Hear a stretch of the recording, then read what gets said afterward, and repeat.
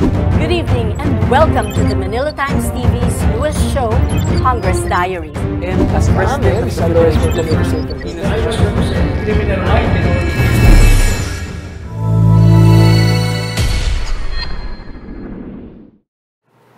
Good evening and welcome to the Manila Times TV's Congress Diaries. I'm your host, Kim Bernardo Lokin.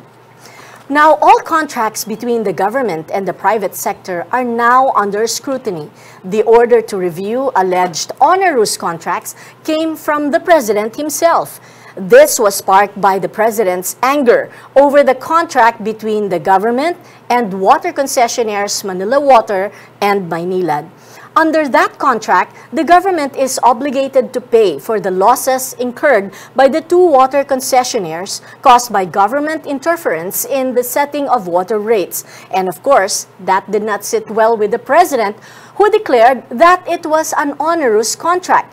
Now, several members of the House of Representatives have filed resolutions and uh, they are seeking a review of the concession agreements with both Manila Water and Maynilad.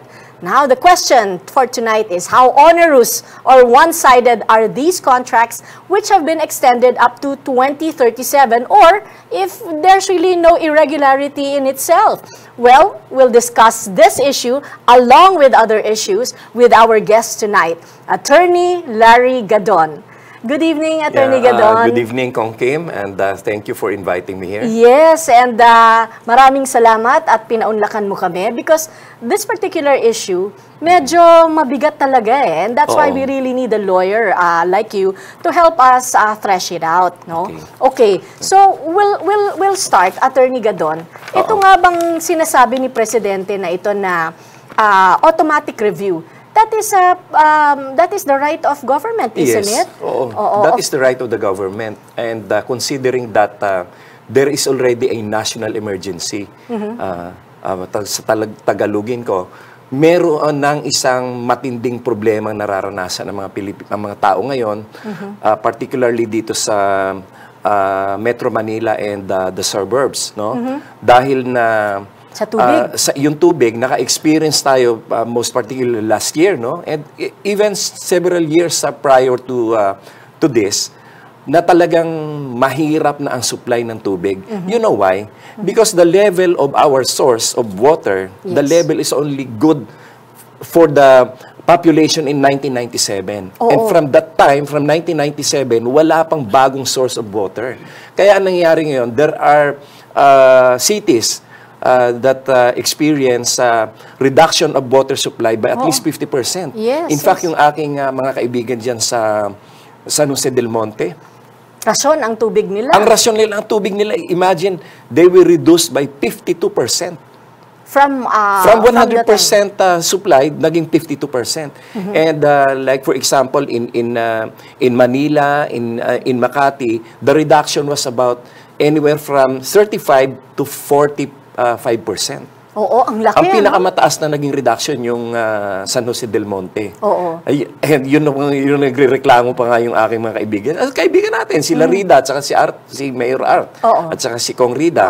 Kasi nga naman, tinatambak sa kanila doon yung mga relocation ng housing, and then yung tubig nila, niliitan. So, uh, naging problemang matindi nila yan. Mm-hmm. Right. Okay. Eh, dahil, dahil dyan, it, it has already become a national uh, emergency, itong kakulangan ng tubig. Oo nga. Ang Oo. actually, nagsimula ito nga dahil nga dyan, ano, Oo. na nawala ng tubig. Ito lang, Oo. last year, no? Oo. Ah, I think there was a time last year na nagrasyon dito sa Manila. Oo, nagrasyon talaga, Manila. oo. Oo. So ngayon, I think that is the one that triggered also the, Yes. the review of the contract, di ba? At tama naman. Oo. Ito ngayon ang mga tanong. So himayin natin yan, ah, Attorney Larry. So first, is it irregular to extend ah, the contract ng mga water concessionaires natin to 2037 even before its expiration date which is It's- it's irre- 2022. It's, irregular. It's uh, uh, uh, uh, at the onset, it's irregular. Because hindi Bakit pa nga naman? natatapos yung contract. Ang tagal-tagal pa, i-renew nyo na ngayon. Ah, ano naman ang ibig sabihin niyan? Kinargahan ba sila dyan? Bakit na kailangan nila i-renew ngayon? And not only that, ah, they have failed to uh, perform their obligation to put up uh, sewage treatment plants. Yes. And then, ang taas-taas ng ng kanilang singil, imagine, sinasabi nila 7% lang daw yung kanilang uh, uh, profit. Eh, ang Bloomberg, sinasabi 42% ang kanilang profit. So, uh, between them na self-serving statements and Bloomberg, I'd rather believe uh, Bloomberg. Oo. Second, I, I think meron provision sa batas natin, Oo. lalo na tungkol sa public utilities, Oo. ano, that you cannot go beyond 12%. Yes, oo. Kasi pag lumagpas ka doon, aba, Oo. sobra na yon, di Oo, ba? sobra na. Oo. Kaya nakita mo, ah, yung sinasabi nila na losses nila nung ah, a total of 11 ah, ah, mi- million or almost 12 ah, ah, billion, Billion, yes. na naging ah, ah, ruling doon sa kanila Sa arbitration. Singap- Oo, Singapore arbitration. Eh, hindi naman talaga actual losses yun na lugi, kundi yung hindi lang nila nasingil. Eh, It's a profit that wa- ah, was not realized. Oo, but they Oo. said kasi it was included in the the contract, the provisions of the contract. Eh, But yun just na ang same- mahirap eh. Yun Oo, na yung mahirap pero, eh. Kasi talagang napaka-onerous ng contract. Pero Imagine, ang naging lang- role lang nila, Oo. ang naging role lang nila is computing kung magkano ibabayad mo, papatungan nila yung ah, singil sa'yo, and yet, wala naman silang ginawa talagang superstructure that will improve the services. Mm-hmm. No? Dahil na yung kagaya ng mga water supply na yan, yan pa yung mga water supply system nung panahon pa ni Presidente Marcos. eh sabi nila kasi... Wala naman silang naging, naging improvement dyan. Okay, so let's see. Uh, part of uh, what they are asking for in payment, di ba? Pag binasa mo yung bill mo sa water, yung SDP, di ba? And they said na yung sewerage na yon, na treatment plant, Oo. ay dapat sila ang magtatayo nun. Oo, para dapat hindi under the pumunta contract sa siya. Manila Bay, Oo, para oo. hindi pumunta sa tribute, yung water Oo, tributaries tribu- na. tributaries, oo. So, ano sa Yun palagay mo? it's, it's, there is already a clear violation of the contract. So, Mm-hmm. Uh, I think the state has uh, the right to take over immediately. In fact, Mm-hmm. immediately because that is provided for under the Constitution. Oo. No? Uh, Ano yung, sa specific Article na- Mm. 12, uh, specific articles, ito yung uh, Section 17 and Section 18. Oo. Ang Section 18 says that in times of national emergency, when the public interest so requires, the state uh, may, during the emergency and under re- reasonable terms and prescribed by it, temporarily take over or direct the operation of any privately owned public utility or business affected with public interest. Yes. This, in fact, uh, refers to a privately owned. Eh, what more yung dati ng publicly owned and then iti-take over mo lang because the, the management company that is supposed to take care of uh, doing a better job, hindi nila naman nila na-perform. Kaya mga mas pre-privatize, di ba, dapat oo. para mas Oo. maganda yung gagawin Oo. nila kesa dun sa existing Yes. ginagawa ng If the. Constitution uh, provides for a, uh, a state takeover of a private business, if the emergency uh, requires. Oo. if the public emergency requires, eh what more of a public utility already owned by the government? Right. Oh, di para i-revert mo lang yung ano, yung the right to manage. Pero ang sabi nila, And, uh, oh, uh, uh, meron pang isa. meron pa isa, yung Section 18. The state may, in the interest of national welfare or defense, establish and operate vital industries and, upon payment of just compensation, transfer to public ownership utilities and other private enterprises to be operated by the government. We're talking here again of another, of a, uh, uh, a private enterprise Yes. uh, which is involved with public interest na pwedeng i-take over ng government. Eh, what more itong uh, It's water utilities na utility, pub- oh. public utility, Yes. which is already owned by the government. right. Oo. Parang sinabi mo lang, ay, di ka naman, ma, hindi mo naman ginawa yung trabaho mo eh. Ay, aamin na lang, kami na lang uli. Ibabalik mo na lang Ay, sa balik na amin. lang sa amin. Oo, Oo, right. So, I, I believe that there's, the uh, president can immediately take over.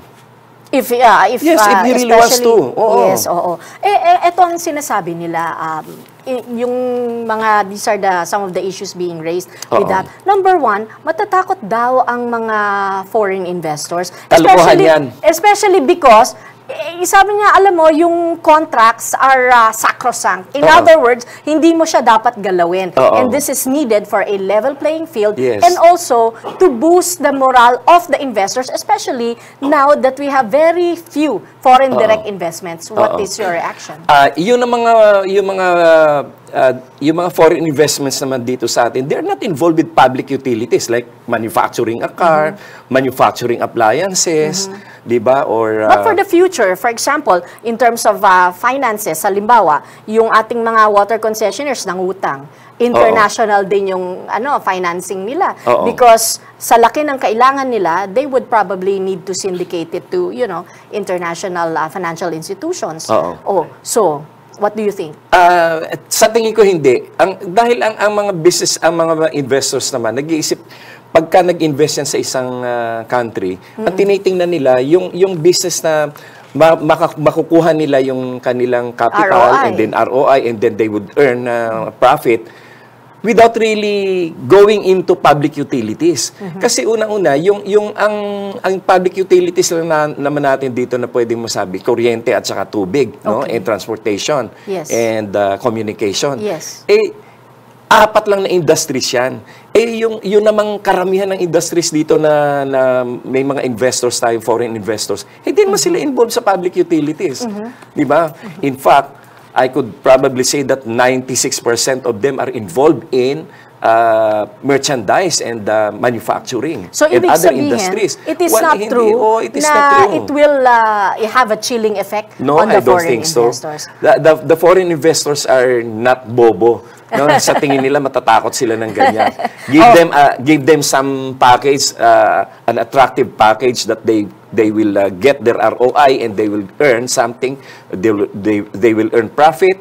I'm sure they will come here. Oo Ang nga. problema lang kasi dito kaya nat kaya sila medyo uh, hindi masyadong uh, uh, probably the, the other investors are not shy, shying are, are, Are shying shying away, away, from the uh, Philippines is because ang taas-taas kasi ng kuryente natin. Oo. Tapos ang taas-taas ng tubig. Oo. And ang ang telecommunications natin ay napakabagal. Yung mga- yeah, Oo, those- the- the those are support, necessary, oo. uh, uh, facilities are are uh, very poor, no? Unlike in other countries, uh, you can go. Oo, in that's fact, you- true. imagine yung Burma, which is only about four years uh, old. Myanmar, uh, uh, Myanmar, oh, no? oo. Four years old pa lang sila na, na independent country. And yet, talong-talo tayo sa communications. Oo nga, Oo. no? Oh, but, uh, okay, balik Oo. tayo ngayon sa pinag-uusapan natin. How do you legally get out of a an onerous contract? And sabi nila, dapat daw kung meron nakita na violation, idaan daw sa ang the proper procedure would be to go to the courts. Ah, hindi katulad ng ginagawa ng presidente natin. But, before you react to that, again, Attorney Larry Okay. Gadon, we'll have to pause for a break. Congress Diaries will be back. Stay with us.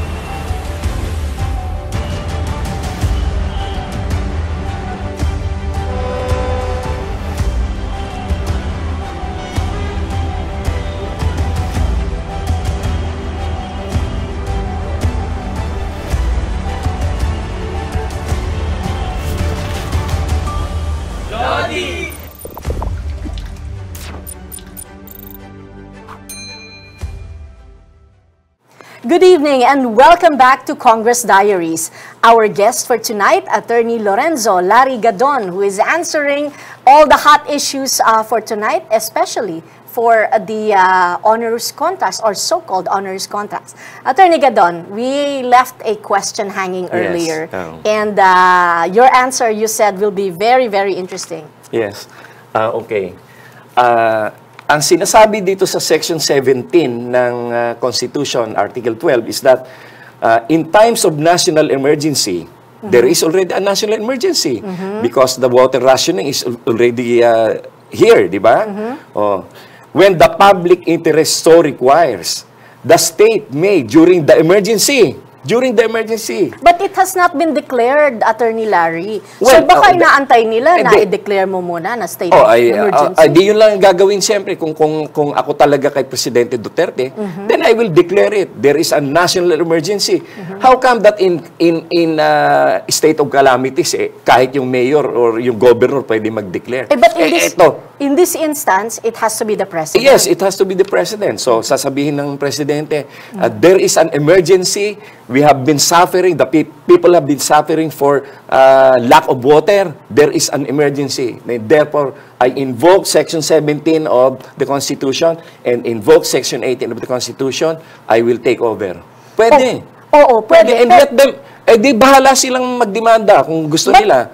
But in the meantime, that, Is- that there is an emergency, uh, the, the president can take over. Another lawyer guest of mine in a different show, Oo. ano, ah, and now Congressman, Congressman Rufus said that the proper procedure ah, should be to go to the courts. What no, is your this reaction? is not an ordinary contract. In an ordinary private contract, Pwede. Oo. No, a contract between me and you, you manufacture something, I will buy it, okay.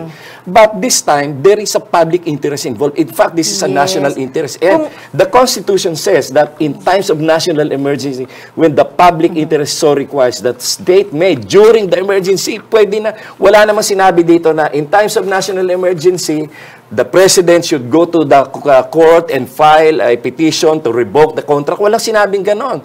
Eh, alam mo, sa interpretation ng batas, mayroon kaming sinasabi dyan na what is excluded is not included or what is not included is excluded.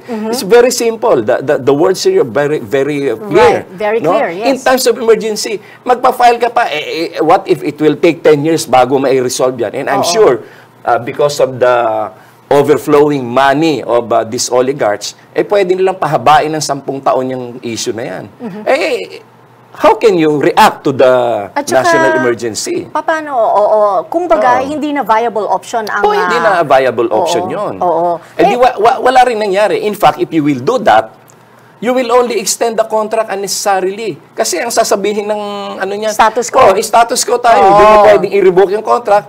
Oh, and, and therefore, it has an automatic extension because there is a case in uh, de- because there is a pending case. Oo nga. There's another issue, uh, Attorney Larry. Yung sinasabi nila na yung sa under the provisions of this said contract ano the Oo. government cannot intervene on how much the two companies can charge a consumer your reaction Y- yun pa nga mahirap eh. Alam mo talagang sinadya yung contract na yun at ganyan Mm. eh. Eh. That makes it onerous. Imagine, this is a public utility. Mm-hmm. Eh yun yung ano, yun yung ah, kuryente. Meron tayo, di ba, ang, ah, ERB. ah, ERB, Energy no? Regulatory O, Ener- Board. Energy ah, Regulatory Board. Ah, yung gasoline, meron din silang, ah, yung Energy Ra- Regulatory Board covered din yan. Oo. Eh, eh then itong water, MWSS hindi ba? Oo, oo. itong water, hindi mo pwede i-regulate. Oo. Oo. So, uh, what is the function now of MWSS Oo, kung hindi sila kung hindi sila pwede. Oo. Alam mo, ginawa talaga yung kontrata niyan because the people who drafted that contract and made it possible or concluded that contract, eh yun din yung mga tauhan ng mga oligarko ngayon eh, di ba? Oo, but Oo. okay, there's uh, from, you know, sentiments ng business community, sabi nila, Attorney Larry, ito daw, kontrata na ito, ang nag-draft naman nito are yung mga consultants ng government. Oo. So, yung mga hinire na government councils at the time of the drafting and review of that uh, contract before it was awarded. Oo. So, ano ang masasabi mo O, dyan? eh, Sabi sino nila, sila, sila rin ngayon yung nakaupo na mga mga uh, executives ng mga companies na yan. Mm-hmm. They came from the government, they uh, uh, uh, help uh, uh, draft the contract and uh, negotiate the contract and After conclude the contract. term- And then after their term, sila nagtrabaho din sila dun sa mga oligarchs na yan. Oo Di ba? nga. Ang kakapal ng mukha nila, no? Hindi ba merong batas dyan na may prohibition? Well, Pero, actually, dapat attorney, yan. isang taon lang ang prohibition Ay, dyan. hindi dapat Gusto mo bang uh, Dapat yan, extend ano, or ah, lifetime na? lifetime yan. Na ban? Oo, oo. It's very unethical. Very unethical. Oo nga. Eh, What about- very immoral. Ha? Oh, absolutely. O ikaw gumawa ng contract, binigay mo lahat ng pabor doon. After ng term mo, magtatrabaho Lilipat ka presidente doon, doon. eh, di ba? Oo, di ba? Oo. It's, uh, it's very obvious na bayad sa kanila yan for Mm-hmm. their uh, uh, Services. nationalistic services. Oo no? nga. So Oo. is this also... Unpatriotic services. Oo, So ganito, ang tanong dyan, Attorney Larry, is this does this comprise regulatory capture Yes, then? that's a reg- regulatory capture. Oo. Kasi ah kinupo na nila yung ano eh, yung kontrata eh. And then sila rin yung makikinabang in the Oo- end. Oo nga. Oo. Pero sabi naman nila that, you know, at up to now, meron pa tayo, eh, nangyayari pa rin yan. Sad to say, even if we have a president like uh, President Duterte right now, meron pa rin mga ahensya na, you know, that still has uh, their actual bosses that are um, from private businesses. Oo. What do you think? Oo, Pa- pero- paano natin Oo, pero hi- sila naman, wala naman silang ganong, wala naman silang mga Exit ganong... program. exit pro. Wala silang mga ganong iniwanan na legacy of, uh, uh, ano, of uh, onerous contracts. Mm-hmm. Some of them are from the government, but uh, when they transfer to private sectors, hindi naman sila yung involved doon sa mga kagaya nitong mga onerous contracts na ito. So, ibig sabihin nun, do you think that there is a need for maybe to introduce some amendments uh, on existing laws or maybe to introduce a new law, uh, you know, because uh, in the light of uh, what is happening Yes, now? so dapat yung yung one year na prohibition it should be uh, uh, lifetime. Oo nga. Oo, yun ang dapat na ano. Oo, that's one, ano? Oo, Oo, oo. dapat dapat 'yon. Actually, sinabi nga ni Kong Kasi I'm Rufus sure sa nung ano, yun. ay nako, I'm, ala, sasabihin nila, wala akong ebidensya. Pero I'm sure nung ginawa nila yung mga kontrata na yan, nasa isip na nila yan na, oh yeah, i-hire ka mo- naming presidente after your term. Ibig sabihin Kaya nun- gandahan mo na yung kontrata. Meron na silang connivance, Oo, umpisa may connivance yan. Oo. Gandahan mo na yung kontrata, kumita tayo malaki para pag ikaw na yung presidente dito o ikaw ang chairman of the board, eh malaki din ang sweldo mo. Oo nga. Oo, Siyempre, that- ganun lang yan. Hindi naman tayo bobo para ano yan eh. Oo eh, simple lang eh, pa no? nila yan. Oo oo, nga. oo. But what about the other contracts? Sabi kasi nila, pinag-iinitan daw ang ah, ni Presidente several big names lang, like the Oo. Ayalas, you know, si Pangilinan, di ba? Oo. So, and the Lopezes, di ba? But um, now, meron pang lumalabas na ibang ah, supposedly onerous deals din, di ba? Oo, oo. Yung Chevron at saka yung sa UP ah, Technohub. Technohub, Oh, oo. what's your take on this? Well, okay. Yung UP Technohub, talagang ano yan, sobrang... Hmm. Garapal. Garapal. Kasi lumalabas siya upon, eh, in the investigation of uh, RJ Nieto, who is also known as Thinking Pinoy. No? Hindi lang siya vlogger, ah, he's a, a- a columnist in uh, Manila Bulletin. No? Ah, ah, yung yung he found out that ang the the the rental rate is only 21 pesos per square meter in UP Town Center ha i- i- in UP ah, Technohub. Technohub Oo. i-imagine mo prime property yan iba naman yung Chevron yung Chevron kasi ah, in in ah, the 1935 constitution ah, the US ah, has a parity rights Right, ah, yes. equal rights with the, the Filipinos, Correct, di ba? yes. So they can own lands, they Yes. can own prop- real Right, properties. yes. Yung Chevron, at that time, talagang binili na nila yung lupa na yun dyan, yung sa Lemery, Batangas. And at Mm-hmm. that time, wala naman nakatira dyan. Liblib yan. In fact, kung ako gobyerno, I can even give it to them so that they can operate this uh, uh, uh, refinery uh, plants, di ba? Mm-hmm. Eh, kailangan natin yung gasolina eh. There is a national need. There is, that is a national need, yung, yung gasoline. Ay, kaysa mo wala tayong, wala tayong gasolina, paano tayo unlad? Eh, itong, itong UP uh, Technohub, iba yan. Wala namang national interest yan eh. Eh, UP interest yan eh, di ba? Oo. Eh, at saka yung yung yung Chevron kasi nung dumating yung 1973 Constitution, ipinagbawal na yung ano yung uh, ownership of lands Yes. by uh, foreigners Foreign, or yes. foreign entities and foreign uh, foreign uh, individuals. Ang nangyari diyan, dati ng kanila yon, binili na nila eh. So ang So- ang ginawa, nagkaroon na lang ng arrangement na i-revert nila to back revert back to uh, uh, the Philippines to to the government and then with that agreement that sila yung magli-lease. But on a very uh, reasonable uh, fees. Kasi nga naman, amin na ito eh. In the first In place, the first place, we- uh, we, we own this. O, ibabalik namin sa inyo, i-rent namin. Pero yung consideration naman ng rent, maliit lang. And not only that eh, kailangan natin yung refinery plant, Sure. di ba? Oh, and not only that, liblib yung lugar na yon. Wala nakatira doon dati. Eh, attorney, Noon siguro, nung panahon na yun, nung binigay, liblib talaga Oh, yun. liblib Pero talaga. ngayon, no, because hindi of na. that, oh, because of the refinery, nag-sprout na yung communities doon. Okay, so we'll talk Oh, about- In fact, nakabuti pa nga yung Chevron na yun eh. Ganun ba? O Oo. sige, so we will So, talk... eh, they cannot blame President Marcos on that. Oo nga, so teka muna. Dati na, Oo. even before Marcos became president, pag-aari na talaga ng Oh, Chevron we, will, yun. we will talk about that more. Uh, we will come back after this break. Stay with us. Mga isyung pinag-uusapan. Mga palitang laman ng pahayagan. Impormasyong dapat niyong malaman. Tatalakayin, bubusisiin, at hihimayin ni Mario Garcia kasama ang kanyang mga panauhin sa harap ng bayan. Face Off! Good evening and welcome back to Congress Diaries. Our guest tonight, the irrepressible Attorney Lorenzo Gadon. So, Attorney Yeah, Lorenzo.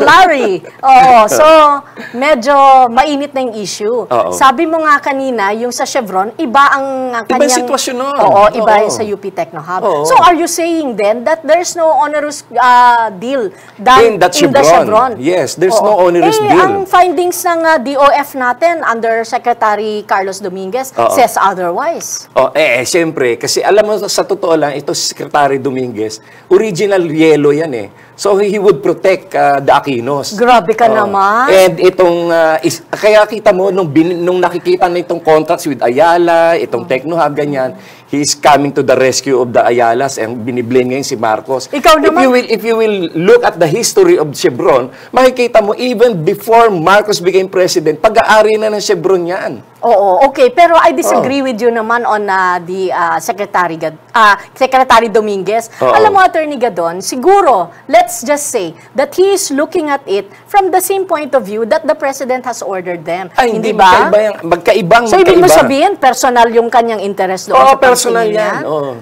Yeah, this is, uh, he wants to uh, uh, put some peanut butter coating on this uh, Ayala uh, Kaya dinadivert niya yung. Oh, issue, dinadivert gano'n? lang niya. oo. Oo. Pero totoo, eh, hindi mo naman pwedeng i-compare talaga. Napakalayo.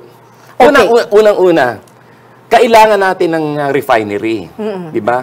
Eh, pwede mo ba masabihin sa akin, Kong Kim, na kailangan natin ng mall dyan sa UP?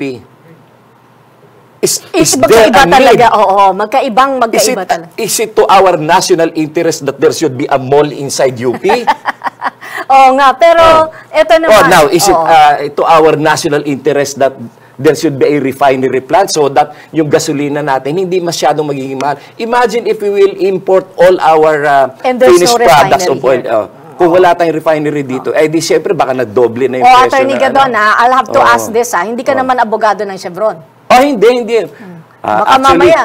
Actually nga, ah, i- isa pa nga yan eh. Oo. If you will remember, ah, si President Marcos, Mm-hmm. ah, the late President Marcos, ah, put up this Filipinas Petron Mm-hmm. so that he can ah, check ah, the prices of ah, pump, the pump prices of ah, Right. Yes. gasoline. Yes, Kasi nga, dahil meron tayong Pilipinas Petron noon, eh, ah, ang mangyayari, hindi makakapagtataas ng sobra itong Caltex, Yes. ah, Mo- Mobile at saka itong ah, ah, Shell, di ba? Along with the Ang nangyari, binenta nila Cory at saka nila FBR yung ah, Petron.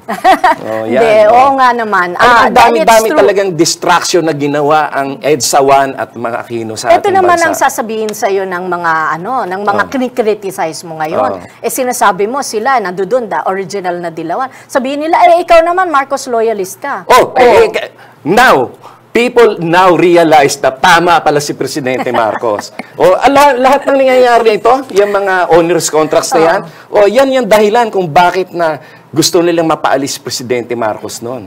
O nung na, nung nawala si Presidente Marcos, ayan, nagwala na sila lahat. O naging lahat ng kawalang yaan, nangyari na. lahat ng kawalan sa kuryente, sa tubig, ah, nangyari na lahat, no. Oh, o ba- ngayon na na-realize ng tao. So I am proud to be a Marcos loyalist because ako, hindi ako kasi bobo ng mga dilawan Okay, dyan. so well, we will not go there, uh, Attorney Larry. So anyway, kung sa Congress naman, looking at the point of view of congressmen, iba-iba rin ang pananaw na natin dyan, eh, no? sa, sa amin, because I came from Congress, no? Pero ito yung isang tanong ko, from, your, from a legal standpoint, tama ba yung ginagawa na yung yung business taxes, Oo. concession fees, Oo. debt servicing, among others, be passed on to the consumers. Tama ba Hindi yun? dapat yun eh. Kaya, ka- kaya ka nga, ah, di ba, ka- eh, take for example, itong, ano, itong ah, sa water concessioners. Hmm. Kaya nga, di ba, sinasabi, eh, kaya binigay sa iyo yung concession, Hmm. kasi may kapital ka. That is supposed to be the uh, first consideration for Correct. giving you the contract. May kapital ka. Eh, nangyari ngayon, hihiram din pala sila ng kapital. And then, yung ibabayad nila doon sa, sa nilo nila, manggagaling din sa consumers. In fact, even the interest. Pero, nailibre na nila yung kanilang profit at saka yung kanilang ah, ano, ah, income. Right. Oo. So, nasan yung justice doon? There's no social justice in that. Oo, because lumalabas na nagbabayad na yung consumer, Pati yung, even, oo, pati yung, pati yung tsaka- tax, ipapass on pa nila. Dalawang taxes binabayaran ng Oo. consumer. Yung taxes na dahil kinukuha nila yung service nitong ah, Oo. concessionaire na to. Pangalawa, yung dahil sa taxes ng mga Ng- may-ari. Ng may-ari, ng Oo. income. Oo. Yung income tax. Oo, Pero mo hindi pass dapat. on pa rin sa ano yun. Eh di ang lumalabas yan, libre sila sa tax. Kasi ang nagbabayad, yung tao pa rin. O hindi ba dapat, Oo. um, according to the laws, existing laws that we have right now, Oo. we, uh, is there now a need to introduce more laws, especially for this one? At Oo. saka dapat plunder naman yan, hindi Oo, ba? plunder talaga yan. Oo, eh. eh Eh, hindi- kung maalala hindi mo, ha, nakalagay eh. ito, ito uli, ah, masasabi na uli natin to.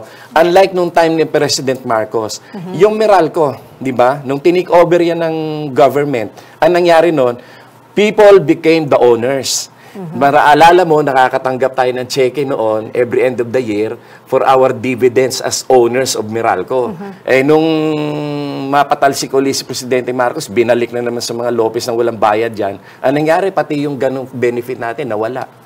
Oo nga. Nako, speaking speaking of which, ano, there's also uh, that issue uh, Oo. right now pending Oh, in yan, yan, Congress, oh, yung yan. renewal ng franchise. Oo. Um, according to um, you know, some kasi sabi nila hindi mo pwedeng uh, isuppress ang Oo. media. Eh, hindi naman suppression of media Oo, so yung press freedom sinasabi nila. So himayin natin uh, Attorney Larry. Itong ren- ang franchise is a Kasi basic business, uh, Hindi, ano, tsaka basic ter- government uh, ano yan, right Basic yan. government right. In fact, Oo. nakalagay nga yan sa Constitution din eh. Oo. In fact, even in, in even in the 1973 73 Constitution, nakalagay yan eh. Oo nga. Pero sinasabi niya, yon basic, ha, up to now, basic Oo. government right to give a franchise or not, Yes, di ba? oo. in fact, ang franchise nga should not, be, Pinapahiram should lang not yun be eh. more than 50 years. At eh, well, nire-renew naman siya talaga. Well, pero pag nirenew yan, another application and Right. another for Yes. another terms Oo. of uh, through, reference. Through, through Congress. Oo, Oo, oo, through. Congress. So, but, oo, eto nga yung, gina- yung sinasabi ngayon, this is the issue now in Congress. Um, ang ABS-CBN, nagfa-file ng ah, renewal ng franchise dahil Oo. tapos na yung prangkisa nila eh. Oo. Sabi ni Presidente, hindi pwede. Oo. Kasi marami na kayong ah, Violations. binayolate. Oo. O una, hindi kayo nagbayad. Oo. ah, and all of those. But Oo. according to, um, um, well, yung those in support of uh, Oo. the renewal of the franchise, number one, hindi mo naman makikita kasi una, binayaran daw Oo. ah, ng, ah, ng ABS-CBN yung kanilang utang through Oo. the SPAV yung ah, Special Purpose Asset Vehicle. Oo. Pangalawa, pati yung taxes daw binayaran. Your Ayan yung hindi pa natin alam ano kasi wala pa akong nabasa na na any article or news na binayaran nila yan.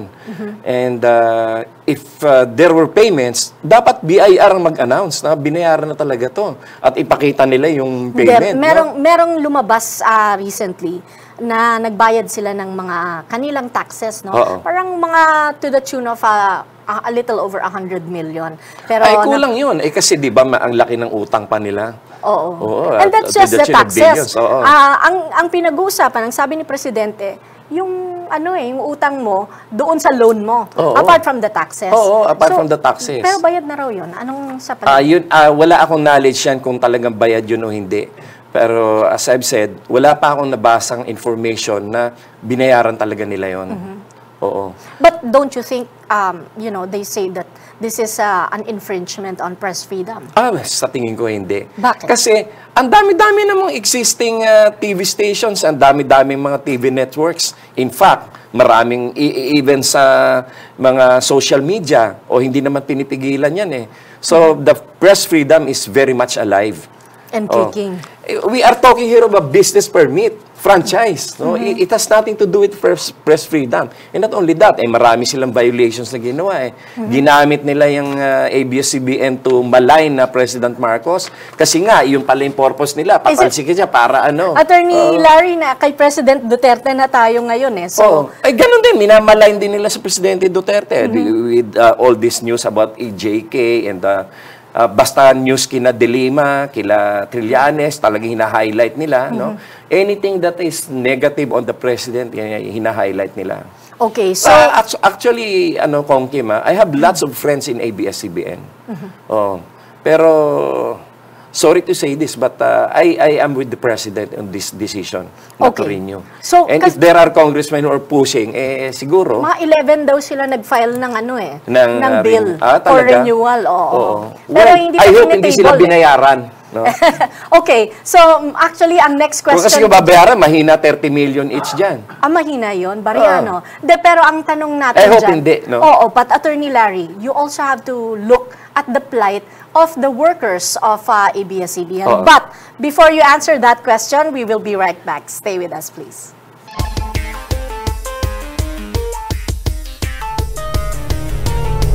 The Philippines has been around for centuries. Malayo na rin ang narating natin. But back then, the way of life has been mostly analog. Did you know that you need to take a boat from Cavite in order to go to Manila? Yes, ganon ang takbo ng buhay dati. You need to send a letter to the United States? Sure, pero aabutin ka ng isang buwan bago matanggap ang iyong liham. Kailangan mong tumawag sa bahay o sa iyong kaibigan? Many ways to do that. Pwede ka maghulog ng tatlong 25 sa payphone or use that vintage rotary phone na most likely 6 digits lang ang landline number. Forget about email. Telex at fax machine ang modes of communication for business. You want to listen to that one song of your favorite band on repeat? Sorry pero kailangan mong i-rewind ang cassette tape. Buong album naman ang kailangan mong bilhin kahit iisang kanta lang ang gusto mo doon. But things change, and we as a race progress. The world is getting small. We are now a traveling population. Why? Because travel is now cheap. Our friends are across the world because our form of communication is now borderless. Time zones are now meant to serve as a guide and not as a limitation. We can buy things from the comfort of our homes. Nasanay na tayo sa convenience because why not? It is the price of development and the glimpse of our future. Have you imagined the future? How do you think it will look like? Driverless cars? Yes, autonomous driving will happen. Robots replacing low-value processes done by humans? Tama ka dyan. Paying for your groceries using digital currency? Very realistic. Materials being 3D printed instead of ordering? Yes, we are indeed a progressive race. And technology plays a vital and crucial part of it. How will this affect our lives? Kailangan ba natin itong matutunan? Mahirap ba itong aralin or kaya naman? How can our nation take advantage of these advancements? All of these can be understood and learned. Tayo nang matuto para umunlad. Nandito na ang Abante. Progress through technology.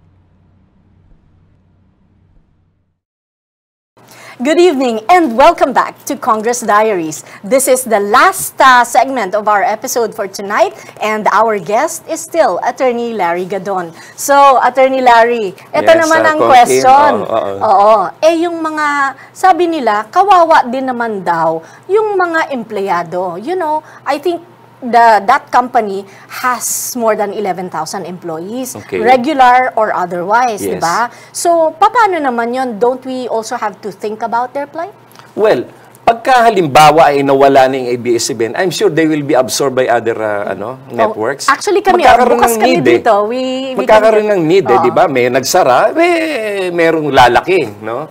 And paglaki ng iba, I'm sure uh, they will need uh, lots of uh, human resource uh, requirements. Mhm, so- And uh, uh, sa pagkakaalam ko rin naman, hindi na naman talaga masyadong naging uh, uh, Patas. makatarungan at patas ang uh, management ng ABS-CBN when it comes to treating their people. In fact, ang dami-dami nga nilang kaso sa NLRC, Talaga? uh, labor cases. Oo. Oo. And not only that, walang mga benefits yung ah, karamihan naman sa kanila diyan hindi naman regular eh. no? Talent. Oh, mga talents na pag nagkasakit, aba, wala kayong ano diyan, wala kayong assistance diyan or ano. And ah, pagka wala na yung contract nila, goodbye. Oh. So walang ano diyan, walang So, no heart involved. Oo. oo. In, in other words, trabaho lang, no? Oo. Walang personalan, Oo. ganon. Oo nga. So, No heart and emotions para sa kanila. Oo nga. Eh, syempre, you, can, you cannot uh, remove one from the other. Oo. Pagka yan ang pag-uusapan, di ba? Okay, ah, balik tayo, ah, Attorney Larry. At this point, ang dami nating nakikita na ano eh na contracts that are rigged in favor of ah, yung the big businesses, di ba? Yes, oo. So, um, what do you think is needed at this time? You know, is it just about a question of new legislation? Is it uh, just a question of amending existing uh, provisions in our law? O kailangan natin ng something more radical? And what we can do think- in the future to Oh, prevent? oh. I think uh, there should be a radical solution, particularly on the water issue and the electric or power uh, issue. And then, uh, dito sa uh, issues like uh, itong sa ano sa TechnoHub, uh, pwede mo siguro idaan sa korte 'yan. Kasi ang por- ang pwede maging resulta niyan, pag dinaan mo sa korte 'yan, pwede mong singilin yung kanilang kakulangan. Whereas yung dito sa eh, halimbawa immediate takeover of uh, water uh, concessionaires, no? Ah, hindi mo na siguro matitingnan na pagbayarin pa sila doon sa kanila. No? Ang importante dito, yung maayos na lang na serbisyo sa taong bayan. They're, Oo. they're saying, And then, of course, uh, there should be a law. Uh, there's, it should be, in, in fact, enshrined in the Constitution that public, public utilities cannot be uh, passed on to the private uh, uh, sector. okay, they can, you, you know, government can partner, but you cannot, Oo, you uh, cannot totally give up, give it up, di ba? there O are, kagaya ng ganyan. Ay, ay, ito, resulta nga ito nung EDSA 1 eh. Yung lahat ng panluloko sa Pilipino, Ikaw nangyari. Oo. kaya, lahat ng panluloko at distraction ng Pilipino, nangyari because of EDSA 1 and because of the Aquinos. And together with FBR. Oo, eh, si FBR naman kasi, eh, at the time, sunod-sunuran din sa Kilakori at sa, sa mga oligarko. Eh. at attorney- Otherwise, yung, yung ah, protest ni ah, ah, the late na Miriam Santiago sa Supreme Court, eh baka lumabas nang hindi niya inaasahan. Eh, Kasi pero- I remember at that time that Oo. when Cory ah, declared a revolutionary government, he, she replaced all the justices of the Supreme Court. Mm-hmm. Di ba? So lahat 'yun may utang na loob sa kanya. Eh kung kung yung protest ni ah, Miriam noon eh biglang manalo. Oh. Oo nga, Kaya pero- takot si Ramos noon eh. Oo. Kaya sunod-sunuran siya noon eh. it was In also- fact, when he uh, when he attempted to uh, amend the constitution, eh Mm-hmm. di ba talagang binabraso siya nila Cory na ano, na wag palitan yung constitution. Well, na. ah, I, I remember that distinctly. Oo, diba? Pero alam mo, ang sa akin lang, ang pananaw ko, hiwalayin natin, ano, Oo. um, I agree that the Constitution should have been ah, amended so many years Yes, ay, ago. Diyos ko. Oo. Saan ka ba naman nakakita ng ganun kong constitution napakahaba? And on on on uh, on issues or on matters that require uh, definite uh, uh, focus, yun yung malalabo. Gray areas Oo. lahat eh, no? Tapos ang dami-dami ang dami-dami provisions dito na as may be provided by law. Mm-hmm. Eh, isipin mo yun, di hindi rin pala siya pwede mo kaagad i-implement. Oo, because you At need an mga enabling law. the love and harmony of nature, mga ganon. Saan nila nako, is this a poetry uh, book? that. Hindi, pero eh ngayon, kasi ang nangyari dyan, alam mo, Oo. ah, Ang ang, inilag- nangy- ang ang mga nangyari kasi dyan sa crafters constitu- ay mga crafters niya, basta pinag-a-appoint lang ni Cory. Ay, He appointed 50 uh, constitutional uh, commission delegates. At Yes. yun na, they were not even elected by uh, uh, the but, people. Oo, but the CONCON is ah, supposed to be really like that, di ba? Oo, yung Concon dapat elected, di ba? Eh, eto hindi. Oo, ah, ano, ano lang, handpick ni Cory. Eh, di syempre, yung mga may hinandpick niya yan, yan yung magbibigay daan doon sa public utility Attorney takeover. Larry, yung because ano, it oh, wa- di ba? there was no Congress at that Oo. time. Eh, Pangalawa, revol- niya? revolutionary government. Oo, tapos But sasabihin nila. Oh. oh, tapos sasabihin nila si Ma- Marcos ang diktador. In fact, si Cory ang diktador kasi she uh, dissolved the Constitution at she dissolved Congress and the Senate. And then siya yung naglabas ng naglabas ng batas. And then lahat ano, Actually, si Cory ang diktador. so, okay, so Actually, ang, ang laki ng sinira ni Cory sa ating bansa. alam mo, ah, medyo highly debatable yan. We've been debating that all these Oh. years. Ay, na. nako, ngayon, lumalabas na yung totoo. Oo nga. So, ngayon, no, ay itong problema sa traffic, sa sasakyan, sa lahat ng lack of infrastructure, Mm-hmm. yung mahal ng kuryente, yung mahal ng tubig, yung lack of water supply. Anong dahilan lahat niyan? Because of Cory and uh, EDSA 1. Yun. Okay, so uh, let's let's not talk about that particular aspect uh, anymore. Looking forward, uh, Attorney Larry, ano ang pwede nating gawin? Uh, I mean, of course, uh, tayo we can help recommend uh, laws, no? There's uh, as a matter of fact ngayon napakalaki ng clamor Oo. for new laws, hindi ba? And to revisit the constitution because uh, ano na yung constitution natin eh, med- medyo ano na siya, Jurassic na siya. Oh, Jurassic talaga. Oo, kailangan na natin talaga siyang i-amend. So, I mean, for in the, you know, from the side of uh, the legal profession, uh, ano ba talaga ang pwede nating gawin din para to help naman our country para pag we come across contracts that are really onerous, eh makita natin siya ma-identify and we can tell uh, those na ito, hindi ito pwede, wag naman ganito. Oo. And kasi this is a gray area, Attorney Dapat Larry. yan, yung mga gantong kontrata, dumadaan pa rin siya sa public hearing and congressional hearings. Hindi pwedeng ah, basta nila i-draft nila and then secretly they will ah, conclude it. Ang nangyari dyan sa mga ano na yan eh, ganun eh. Ganon, ano? Oo, oo. So, you think Basta that... na uh, lang nila ginawa ng So, ano. contracts involving public utilities. Oo. It should be ah, Reviewed ah, reviewed and, it should be subjected to a public hearing. Public hearing. Yes. Ah, oh, so that the Oo. stakeholders... Kung nagkaroon ng public hearing yan noon, hindi nangyari yan eh. Eh, ang MWSS daw, ah, they ah, consulted their the stakeholders. Oh, Oh, eh siyempre yung stakeholders eh, pag nakita nila na, ay sige, kikita tayo dyan eh, di siyempre, o papayag na lang yung Hindi, mga- when you say stakeholders naman, ang gusto nila sabihin, Yung mga tao? mga consumers. Oh, kailan? ng ano. Kailan sila nagano, nag pa, kailan nila ginawa 'yon? But that, eh, They that- never that- did that. That's the claim. Oo. Okay, meron... Kasi, Oo. ah, di, kasi at that time talagang lahat dinidikta nila eh. Oo. Oo nga, so... At saka isa, eh, hindi lang naman yung water noon ang naging problema, eh, 'di ba? Eh, This was the time of uh, FBR, 'di ba? O, 'di ba pati yung ano, yung ah, power, pati yung gasoline, 'di ba? during his time, I think it was uh, the crisis on power. Oo. Oo, 'di ba yun yung time na maraming mga barges tayo Oo. dahil lagi tayong may mga brownouts, Oo. hindi ba? Oo. So na natigil, na cripple din ang business noon because Na-cripple talaga. How many- Bakit ba tayo nagkaroon ng mga brownout, brownout noon? O, bakit? Kasi yung mga projects ni President Marcos para sa kuryente, pinatigil ni Cory.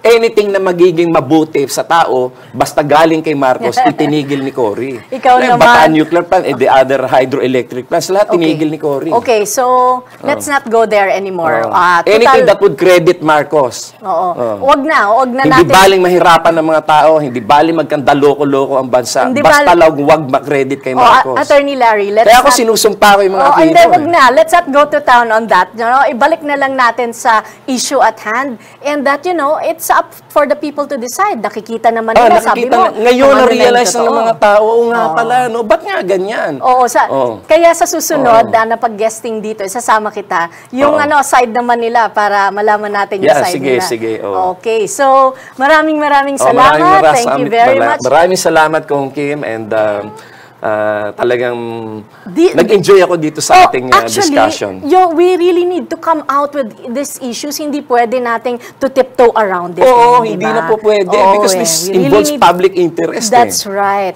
Okay, so maraming salamat. Until next time. So uh, Yeah. once again, we'd like to thank our guest for tonight, Attorney Lorenzo Larigadon. And that is it for our episode of Congress Diaries. We will be back next week. And uh, I'm your host, Kim Bernardo Lokin. I'll see you then.